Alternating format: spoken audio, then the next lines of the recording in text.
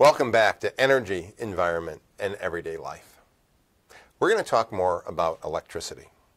Remember, electricity is a medium.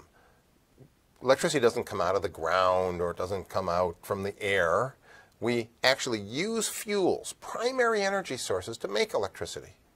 But electricity is so useful in the end and a wonderful way to transmit power that it has become an ever increasing proportion of our primary energy going into making it.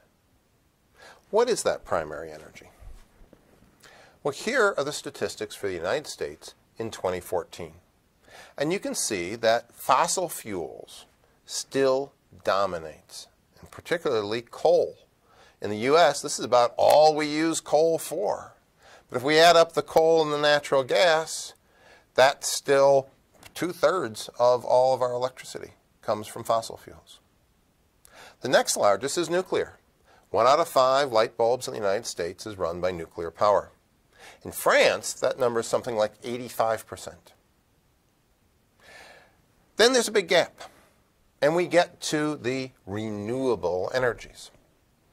Hydroelectric power in the United States, we pretty much have dams wherever we could put dams. And as long as it keeps raining, we will have hydroelectric power. The next one is wind. Now, wind is fascinating because that number, this 4.4%, that's a lot of electricity. When I first started teaching about uh, introduction to energy sources, that number was tiny. And even a few years ago, it was more like 2% of the electricity in the United States. And that's very, very exciting. Having wind turbines being able to utilize the windy spots with good technology is a wonderful renewable energy source.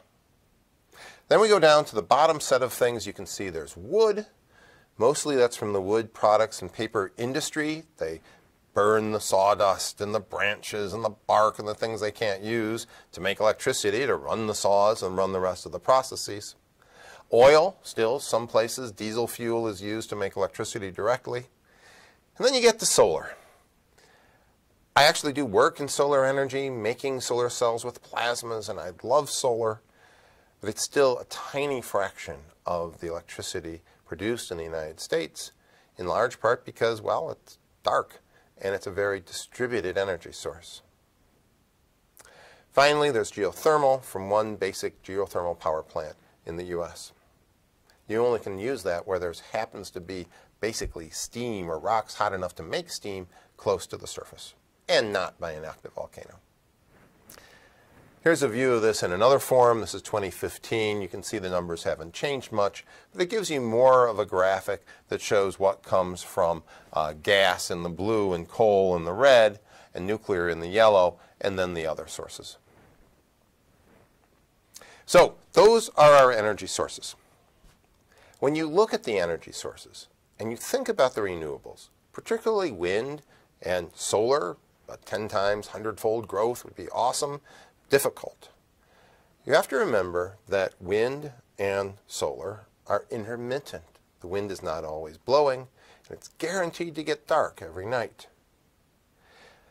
This poses great difficulties for using them in the electricity supply. And here's why. Here is the big problem. Look at the variation from day to day and from hour to hour. I realize this is just one particular location, but you can see that on Saturday, very little power is used compared to days during the week. And then you have this hour by hour variation. So just think about this for a moment, right? So you go along and you're asleep. Wonderful.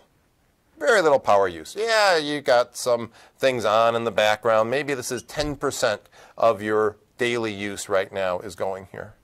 But then your alarm clock goes off. All right, and you get up and you turn on the lights and you turn on the coffee maker, you turn on the microwave and the TV and the shower and the water heater and everything else. Uh, and then maybe you go to work. But probably not everyone goes to work. So you got other people. So this stays up and goes up and down, right? And then, of course, you come to the end of the day. You come home, turn more stuff on, it gets dark, lights go on, entertainment devices go on. And then finally, maybe you go to bed but maybe other people don't, and this power still stays up and trails off. This type of variation that could go from 10% to 100% during the day is huge. And because of that, you can't just have energy sources that are from renewable sources. You can't just have energy sources that are ones you have no control over when they work. Solar works during the day, unless it's cloudy or rainy. Wind just happens to go when the wind happens to blow. You're going to have to be able to deal with this variation of day to day, week to week, of hour to hour by having a fuel source you have direct control over coal or natural gas are easy. You shovel more in, you turn on the spigot. Maybe it could be done with some type of biofuel, but I doubt we'd ever could make enough of it. The point is you have to have control over that energy source. Now, there is a certain advantage of this part down here when none of that electricity is being used. Because, as we'll come to later in the course, this is when you could charge up your electric cars and not have to actually make the huge improvements and additions to power plants because we already have to have this huge variation, this ability to give everyone their electricity in the morning and at night. So to do that task, we need to be able to shuttle power around the country. And that means we need an interconnected electric grid. So we have three grids in the United States, not one. We have the West, Texas, and the East. And you might think this is rather strange. What happened to Canada?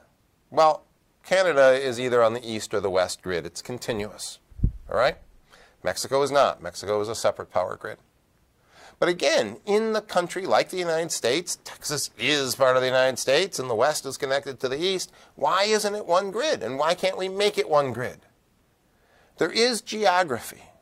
The West and the East are separated by the Rocky Mountains, sparsely populated, difficult for transmission lines. That's one reason. Texas, because Texas was settled and electrified back when only the East Coast was and not much was in between. But today, why can't you connect them? And the problem is that this power is not in phase. So this is a sinusoid, right? And if this is where one grid is, but the other grid is out of phase with the other one, and you try to add those two powers together, you would not have the ability to transmit that power across. You'd have a lot of problems just like this demonstration. You see here that one student can jump rope because the signal is in phase. But if you throw in a second rope going at a different speed and a different turning, everything goes to pieces. So we have three different electric grids in the United States. And of course, within each of those grids, we are going to have to have uh, transmission lines, right? A power lines. One power plant puts power in, that power could be used in multiple places. So if we actually look at the transmission lines, and these color codes go for how many voltages, the voltage of the given power lines, you can also see how this purple area here, Texas, is sort of disconnected from the east, and everything is disconnected from the west the ability to move power from one location to another and to be able to even out this load is a tremendous undertaking and a difficult one. And since the United States only spans three hours of time zone, to get rid of the day-night variation is almost impossible. And what this means is that we need to have sources of electricity that can be turned on and off at will. It would be impossible to run the whole grid on something like wind or solar. Not because there's nothing wrong inherently with electricity from wind or solar, it's the same electricity, but you need to be able to meet the high demand peaks. If it wasn't sunny or it wasn't windy at those demand points, there'd be no electricity available. And that means you need to have things that you can add, you can shovel the coal in, you can turn up the spigot of the natural gas to be able to meet those high peaks of demand that could occur at various times in various places across the country, or at least within each of the power grid units. Here's a map of the flow of power.